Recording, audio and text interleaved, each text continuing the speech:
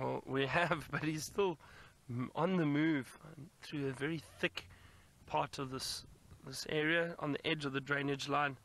I'm hoping he decides to lie down at some point. But let's stick with him and tr- I mean we've definitely put in the hard work to try and follow him. Uh, let's see. So we should get a hopefully another view of him. It's been it's been very tricky to follow this male leopard. But uh, just letting another vehicle go past. And because he's walking on the edge of the bank there the whole way.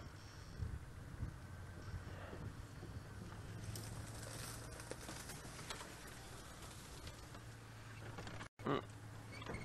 Don't be scared, Senzo.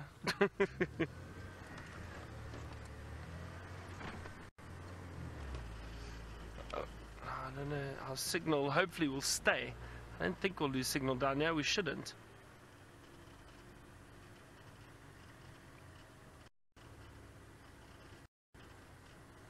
You can see him there. Ah, I can just see the shape of him through the trees. Ah, It's actually a bit difficult to see him. Wow, this leopard's definitely given us the run around. There he goes. You can see his movement through the through the branches.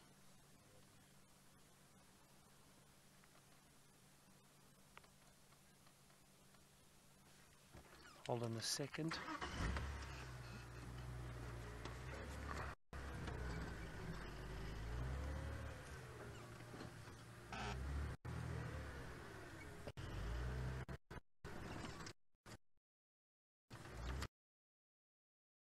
Out of here. That's a bit of a problem. We can't see him now where we are.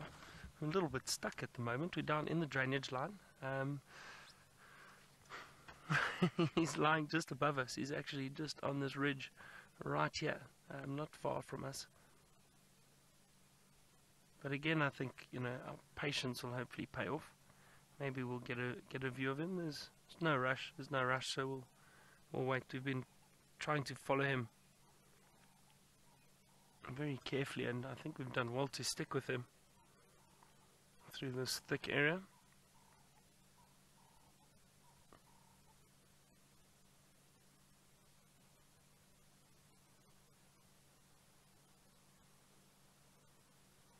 At least we're a bit sheltered from that wind. Remember, I said the wind picked up quite a bit this afternoon. I don't know why. I don't know if it's bringing in bad weather, perhaps. No clouds or anything, but I wonder maybe this evening, possibly a front coming through.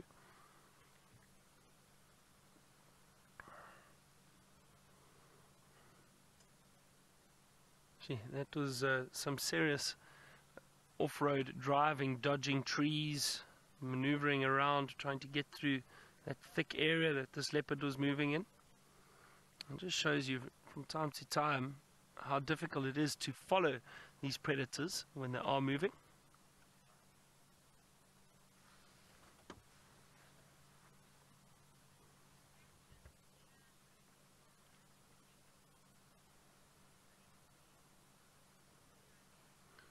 Uh, Chandler or Chandler, you asked, why does a leopard sometimes walk with its tail raised high? Well, the reason is often if they are moving around and they are being alarm called at by birds or, or monkeys or anything like that, even antelope like impala um, or kudu, what they'll often do is they'll raise their tails like that and show that white of the tail. They want to make themselves more visible, and the reason they do that, all the theory behind it, is that they then make themselves more visible so that they basically saying, I'm not a threat, I'm just moving past, I don't want to hunt you, I know I've been seen, and they try to get through that area. Hopefully, the antelope stop alarm calling at them. That's the theory.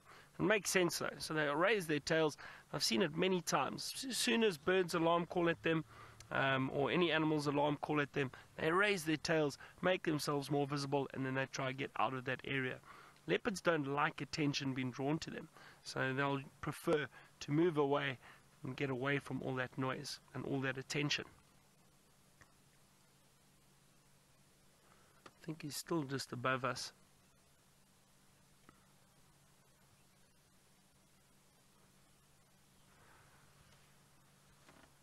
Just having a look.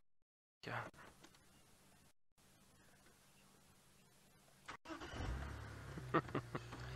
Chitty chatty.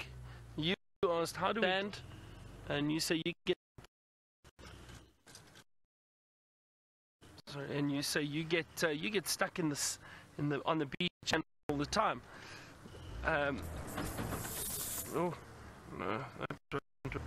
Um, do you want to get stuck? Yeah, I, I want to get. St-